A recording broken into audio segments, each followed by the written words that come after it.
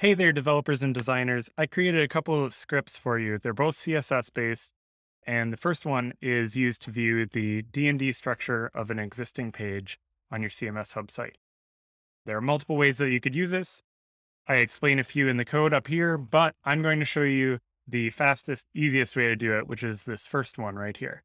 So what you do is you first select all of the code and you copy it, and then you go into your CMS page and you inspect. And then what you quickly go and do is there's a little plus icon. This is add, used to add a new style. We're not actually going to use it for that function, at least not the way they intended. But we're actually going to click Inspector Style Sheet. All right, now that we've clicked that, we're actually going to paste what we just copied. And now you'll notice that the page is already styled up what this is showing you is the D&D area layout for the entire page. So every D&D area gets highlighted like this.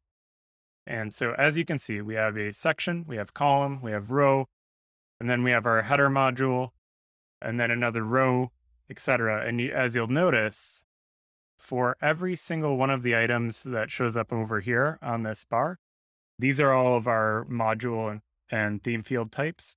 For every single one, we put all of its containing elements, so every part of it, into one section.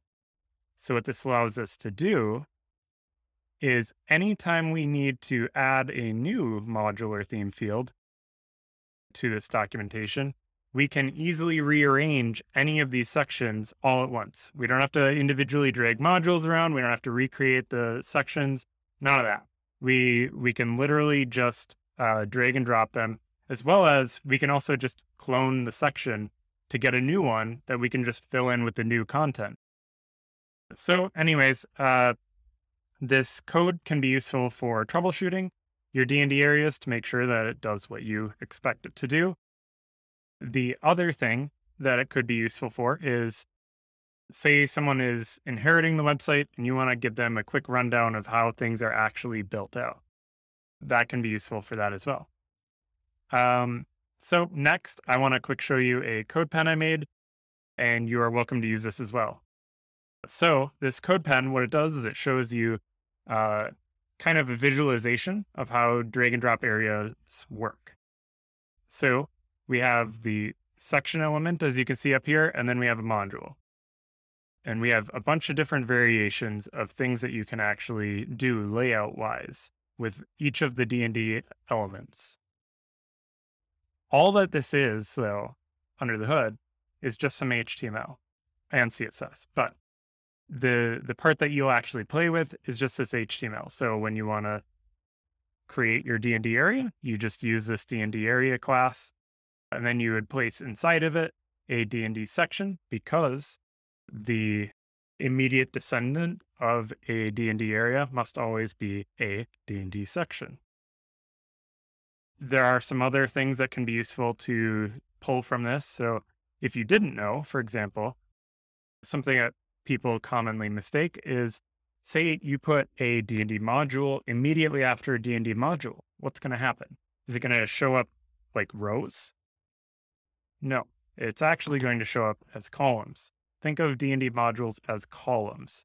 So an example of this is right here. So if we look at the second example, we have a D&D module, and then we have another D&D module.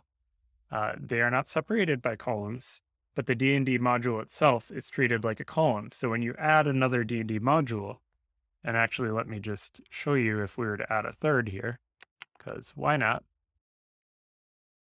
Let's save. All right, so as you can see, it would just place that third module there. So I went ahead and also created scenarios where things are not possible and made it so that uh, if you try to do something in this HTML uh, that wouldn't be possible in drag and drop areas, say putting a drag and drop area inside of a drag and drop area, it will highlight that in red. Uh, another one is say you wanted to place a row as a direct descendant of your D&D area. Not possible. Has to be a section. D&D section has to come immediately after D&D area. You can have multiple sections, but it must be a section as the direct descendant. And then a direct descendant of a section must always be a column or a module because a D&D section is effectively a row. Uh, yeah. And you can place rows inside of columns and you can place columns inside of rows. So anyways, I hope that you find this useful. This could be great for if you want to create blog posts. You can use it to create these charts. You can also potentially use it for videos or use it for training somebody. So you could use it for client documentation to just explain, okay, I intend for these modules to be used in layouts like this. It can also be helpful if you're just trying to scaffold out what your page should look like structure wise. You can use it for that as well. Feel free to fork this CodePen. I hope these scripts are helpful. Share them with your designer and developer friends. Thank you for watching.